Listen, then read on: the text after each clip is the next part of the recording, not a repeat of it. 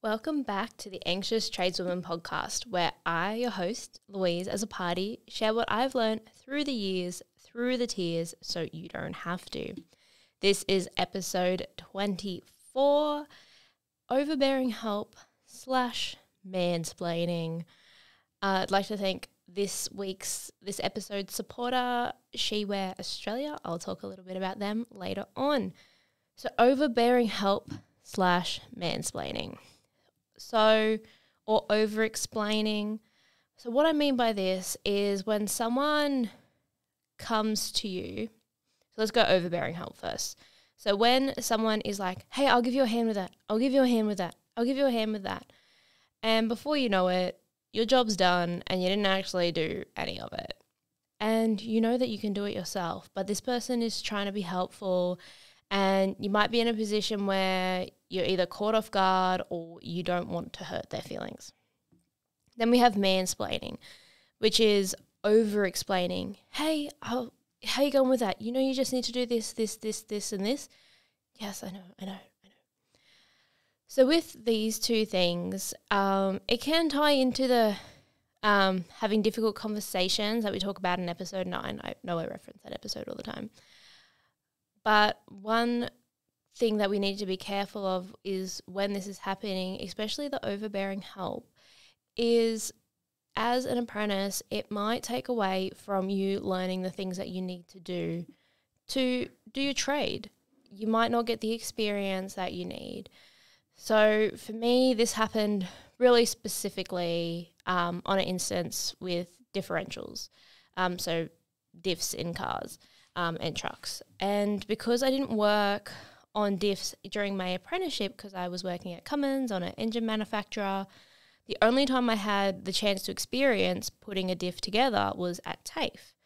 And then a few years later, I was assessed during the World Skills competition on putting a diff together. And I hadn't realized that this had happened or was an issue because I had never put had to do a diff before then. So let's go back. At TAFE, I'm the only girl in the class. I'm a fair bit smaller than everyone else. The diffs we are working on were heavy vehicle diffs, so either one strong guy or a crane or two people to lift it in.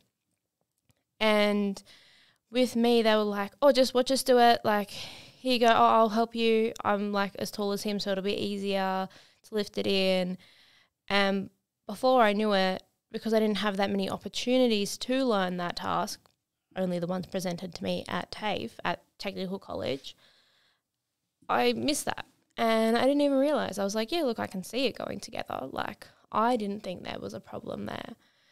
Um, and then a few years later, when we were doing the Global Skills Challenge, which is a competition before the international competition, um, which is like a the final selection for um, to get into to compete for the international world skills competition, I was putting a diff together there. I had to pull it apart, inspect it, and put it back together.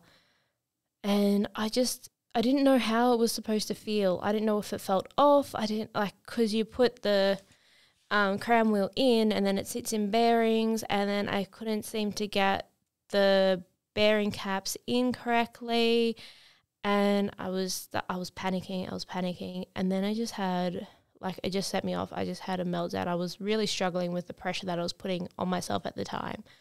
Um, so that in that situation, having that come up, and I was like, how the hell did I get here? How did I get this? Is a simple. It's literally like two gears going together with a bearing. How do I not know how to put this together? I know in theory, I can tell you the theory, I can tell you the tensions, and tell you what this is supposed to, how to test it, but I had no idea how it felt going together because I hadn't done it before. Because I had some of that overbearing help, which then missed me out on the opportunity. Now, in the situation, I recognize now that I was doing the best I could with what I had, and that also the guys thought they were doing, they were helping, right? Helping is good we want to make sure if we find ourselves in a situation where we're being overhelped, that we have a conversation about it. Like I said, difficult conversations. But with this one, this one can be a little bit different. The structure of it, I like to go in and just talk about when we bring this up with people how we are capable of asking for help when we need it. So when someone comes to help you in something that you want to do for yourself or you want to see if you can do it yourself, you can say they could come over so for example, role play, "Hey, can I help you?" "Hey, no, it's all good. If I need a hand, I'll come ask." You're not like straight up saying no piss off because um, sometimes it feels like you do want to say that, but you're saying no, thank you. I I will help. I will ask you for help if I need it. So you're acknowledging that, you know, you can go like they're gonna, you, you know that they can help you, and if you need it, they will help you. Um, I know yeah, pretty much the other thing is telling them to piss off. So just having that in your back pocket, if you find yourself in this situation over here, no, I don't need any help at the moment. If I do need help, I will come and get you. Or even if they're like, Are you sure you can do that? You can say something like, I want to give it a go on my own, but if I'm struggling, I'll come and get you to help me because you're preferencing that I want to give it a go. And a lot of times, it's good to have these statements in your back pocket because sometimes this can catch you off guard. So having them there, um, have them in your back pocket. Very similar to the mansplaining or the over explaining, where someone is going through a task. Hey, I'll just tell you how to do that again. Blah, blah, blah. Same thing. Thanks for letting me know. Um, I think I've got it down pat, but if I need any help, I'll come and ask you. That way, it's it's like a polite way to say no thanks, piss off. Um, and I like with this, it can be so sneaky and it can catch you off guard. That's why I give like the little phrases that can really help if you have them in your back pocket. And there's no shame if you've gotten through your apprenticeship or you realize, shit, this has been happening to me for ages. I actually don't know how to do A, B, and C. With this situation, um, going into a, a like kind of an offset story. So, like I said, I did my apprenticeship on engines. The only area that I had um, any time to do anything else on the trucks was when I was at technical college, and there was a few instances of this overbearing help at TAFE. Uh, I did find an employer that I said, you know, hey, I only have engine experience. I've got the whole qualification, but I've done it like once in four years. And they said, yeah, we'll take you on, we'll teach you it. And I think it's really important to remember that in the trades, areas do become specialized, like workshops become specialized, then you only get experience on that area. But that's well known in the industry. It's known that if you're going to jump into another job that you probably don't have experience on that set of equipment or on that brand or on that style of assembly. I'm trying to include many trains here, but mechanical is my is my forte. So different types of equipment, different types of brands. Yeah, that is known. So don't put too much pressure on yourself if you have found yourself in this situation. Be honest about it. Hey, uh, I know you. We would have saw my resume. I've worked here.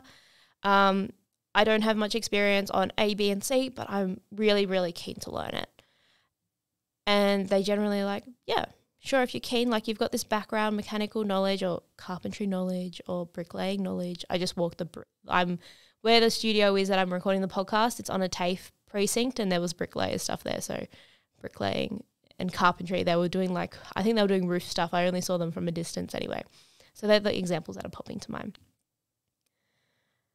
They know that you have, if you have some core concepts down and you've obviously got your trade, it's easy to add on and build.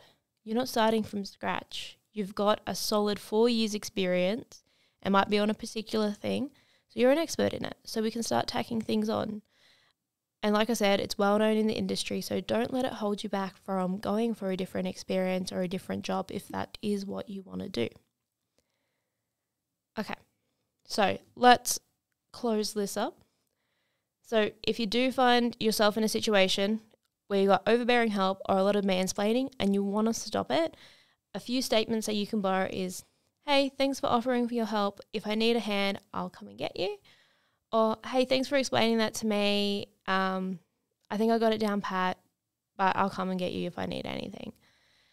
Polite way to say, please stop, piss off. All right, and now we'll go to this episode's supporter, which is SheWear. So, SheWear are safety work boots that have been designed by women to fit and look good on women. Not only do they have specially designed workwear boots for women, but they also have a wide range of women's workwear from a range of brands all in one spot on one website. So, um, I do have a code. It's Louise A. Um, if you'd like to use that, uh, the link is in the podcast description. And also, if you'd like any help or support with this process, you can join my free Facebook community, Tradeswomen Owning Their Power. And if you like one on one support or you're a business wanting to make the workplace better for tradeswomen and minorities, you can inquire through my website, louiseazzopardi.com. And just a reminder that the Tradeswomen Owning Their Power coaching scholarships are open for nominations. Um, it's for my six month coaching program where you can apply to get it free of charge. The I have a whole episode explaining what it is, which is episode 21. Um, and you can message me if you've got any questions. If you have missed the applications and you're interested in still working with me, send me a message. I'd love to have a chat with you.